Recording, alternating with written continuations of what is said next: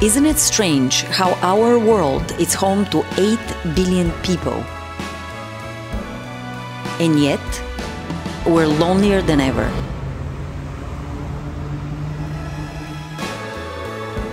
We've got technology linking us together, and yet we're adrift. Hungry for that true connection, that genuine bond. You look lonely. I left America, probably the loneliest place on earth, to seek out a new life with more inclusion elsewhere. Alone in a crowded room sounds like an oxymoron, right? But that's the reality for millions of Americans. Now let's take a look what the Surgeon General has to say about that. This is a problem that has been building for decades in our country. And as the world has moved faster and faster, as things have changed from in person to online, they have a profound effect both on our mental health and our physical health. You would never know. So hidden between the buildings here. I like it. When you first got here, like what was your your strongest impression? The first thing is just the atmosphere, the ambiance is like different. It's like now, okay, I'm in Spain. Today I was exploring the whole topic of loneliness in the US and how this is becoming almost at pandemic level. People are extremely isolated and it's a systematic thing that it's coming very heavy on the health. What was your experience on only speaking, let's say, on a connectivity level? So uh, Boston was very lonely. The weather has an impact, so I didn't really get that feeling of connectedness until I moved to Los Angeles. Okay. Because in LA, everybody wants to be a star. Yeah. And you got to be social. Is there any pressure of meeting people? Did you ever feel like this is like a, a fabricated feeling? Because I always felt a little flat, like always a little forced to to be Yeah. something. There was lots of pressure. Um, but I, I learned, I'm an international guy. Yeah. I love, love, love this part of the world. I love all the parts I haven't even been able to explore yet. We're always looking outside, aren't we? Seeking new connections, new friends, even a spark of a new romance. Hi. Sorry? I just said hi. We're in these vast, busy cities filled with millions of stories, but beneath that neon glow and the energetic bustle, there is an underlying sense of solitude. Another day, another party in the center. Summer concerts and events everywhere in the city. You don't even need to plan, you just need to walk outside your home. Everyone needs their time alone to just be with yourself and experience things on your own. But it's very different from being lonely, and especially different from being chronically lonely, being lonely all the time or most of the time. This is an epidemic happening in the United States. I have experienced that when I lived in the US. My perspective, of course, is very different because I was uh, born in Bulgaria. I spent 20 years of my life living there. And even though I lived for the most part during communist times, I'm not um, saying this is great, but I do have some great memories from that period. I've never experienced being alone there. It is very much based on economics and how the country is structured, the money that it has. Of course, having a lot of money, you start competing and you want more.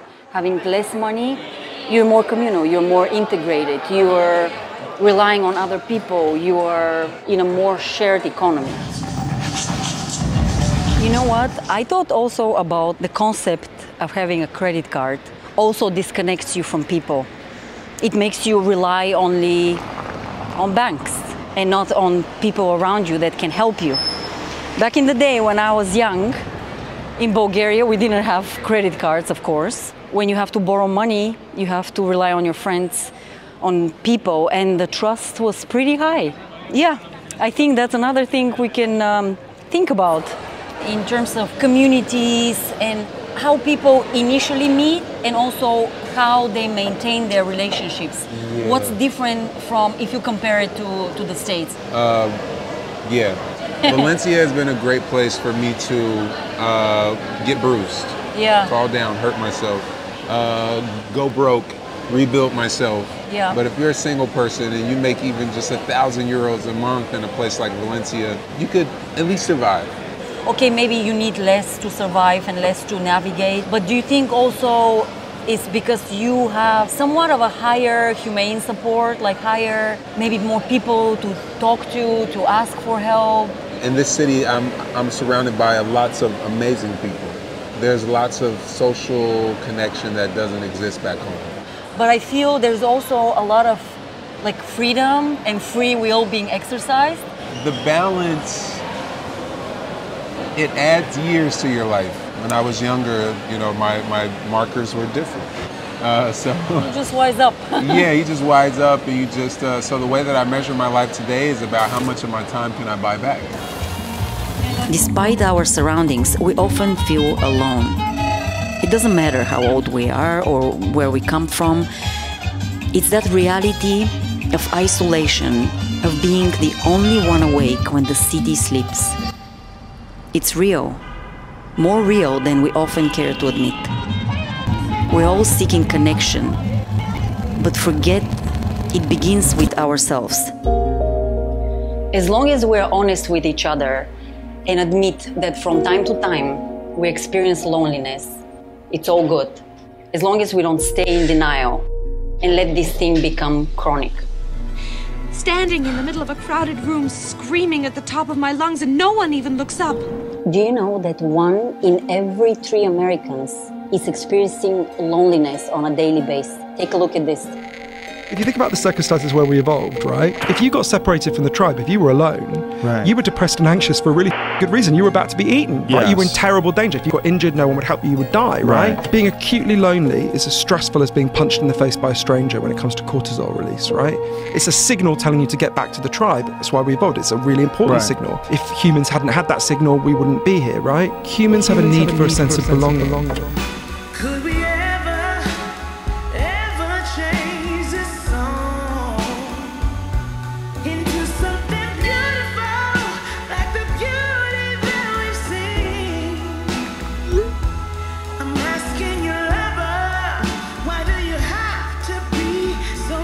It is in our nature, in our evolutionary nature, to be part of a group, part of a tribe.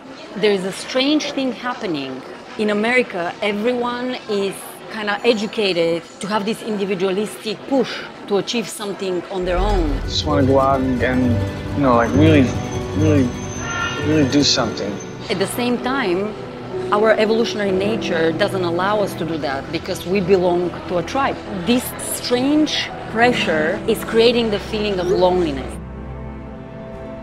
In the US, everyone is being disciplined and kind of fed by media, by family, by any social standards to succeed, to be an individual, to do it. Like you don't need, like you can do it. You can, everything, everything is like you can. Yes, you can. Okay, I, maybe I can, but what if I can't? Like, do I have anybody? Like everything is being fed like that, and at the same time, we we cannot like exist like like a like a uh, lonely wolf. Our relationship with social media can actually create um, severe mental illness because of disassociation. It's We- twisting our reality. But loneliness is not only an emotion; it is a state which can be very devastating for your health.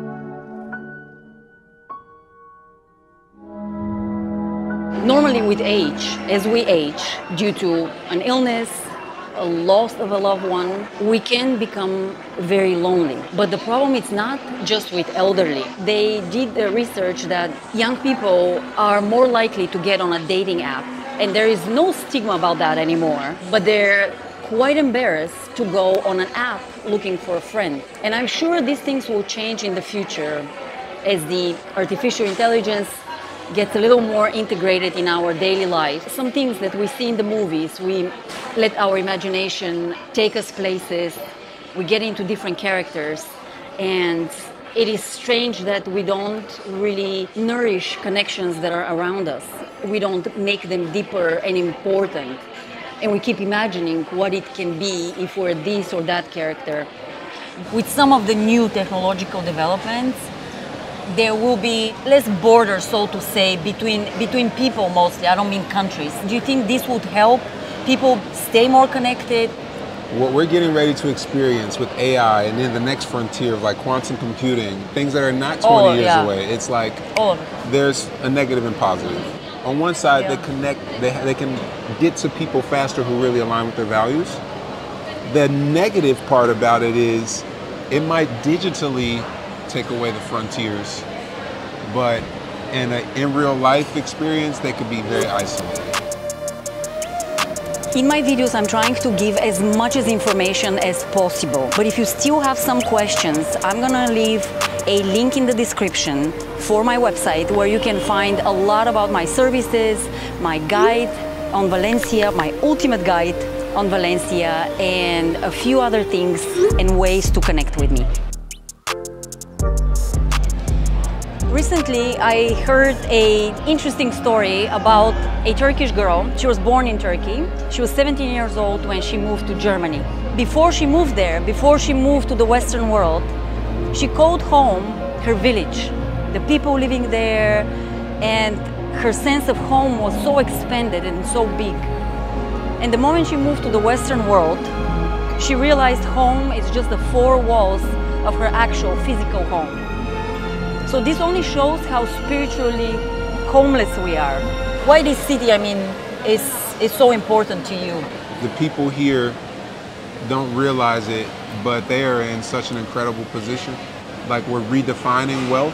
Mm-hmm. And so you see people uh, who will take 100,000 euros less per year Yeah, um, and live in a place like Valencia. right. Uh, but what they gain, the upside is incredible. Yeah.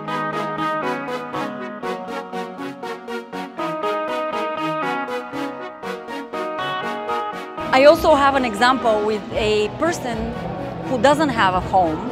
He lives in front of our building pretty much. He he's alone. Definitely alone, but he's not lonely. He told me one day, he said this is a great neighborhood. People are so nice. And he converses with everyone. He he parks the cars. He he knows people. He knows everyone. And he actually gives me a sense of home as well. Even though I'm not related to him, but he creates that feeling of community, of someone you know that it's outside of your circle. And I think that's pretty nice.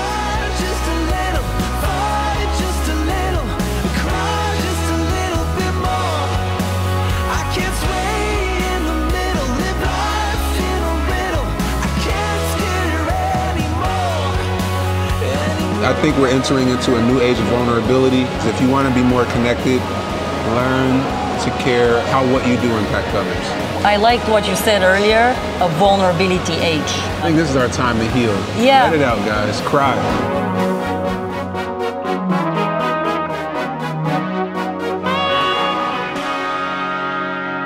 maybe soon or in the near future, we'll have tools that will help us, through technology possibly, to feel a little less lonely.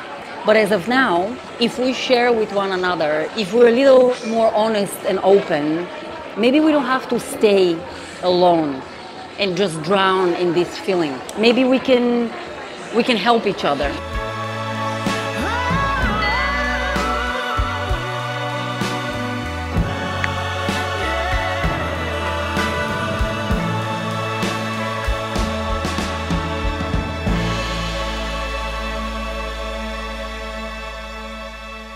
And if you like my videos, please don't forget to like and subscribe. I will see you in my next one. Ciao.